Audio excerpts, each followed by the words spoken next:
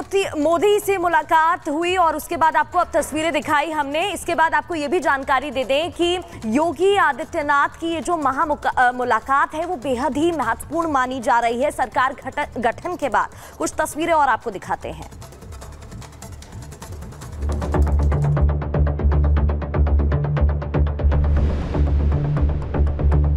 मोदी मंत्रिमंडल में यूपी का दबदबा। सीटें घटने पर भी मिले 10 मंत्री पद।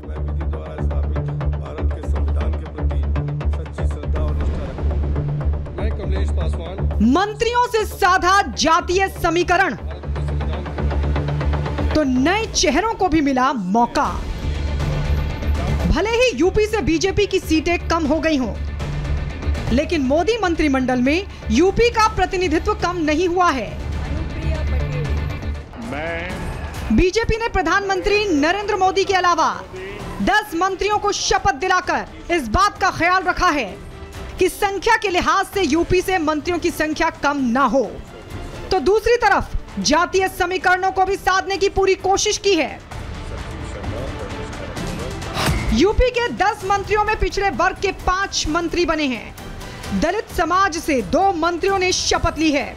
तो क्षत्रिय समाज से दो मंत्री बने हैं। और ब्राह्मण समाज से एक मंत्री ने शपथ ली है। आपको बता दें कि पूर्वांचल में बीजेपी के सहयोगी दल कोई कमाल नहीं कर सके हैं। ओम प्रकाश राजभर की पार्टी अपने कोटे की सीट हार गई। राजभर का बेटा घोसी से चुनाव हार गया है। वहीं निषाद पार्टी की स्थिति भी ठीक नहीं रही। पार्टी अध्यक्ष संजय निषाद के बेटे प्रवीण निषाद लोकसभा का चुनाव हार गए। जबकि अनुप्रिया पटेल की पार्टी की हालत भी खराब रही। अनुप्रिया पटेल की पार्टी अपने कोटे की दूसरी सीट हार गई, जबकि अनुप्रिया खुद कड़े मुकाबले से जीत हासिल कर पाई। हालाँकि जैन चौधरी अपने कोटे की दोनों सीटें जीतने में कामयाब रहे।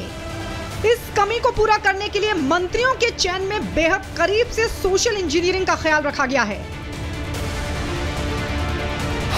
जैसे कि प्रधानमंत्री नरेंद्र मोदी खुद वैश्य हैं और पिछड़ा समाज से आते हैं। जैन चौधरी जाट हैं, जो पिछड़ा जाति है। पंकज चौधरी कुर्मी समाज से आते हैं।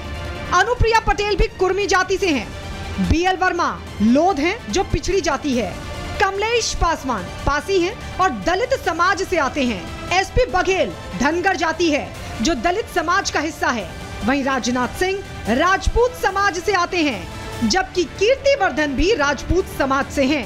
इसके अलावा जितिन प्रसाद ब्राह्मण जाति से हैं कहा है कि जैसे जो उसकी चाहत थी उसकी पूरी हो गई है मोदी सरकार तीसरी बार शपथ ले लिया है और पूरा देश जो चाहता था वो हो गया है ऐसा लोग का मानना दरअसल यूपी में बीजेपी ने उम्मीद के मुताबिक कम सीटें हासिल की हैं।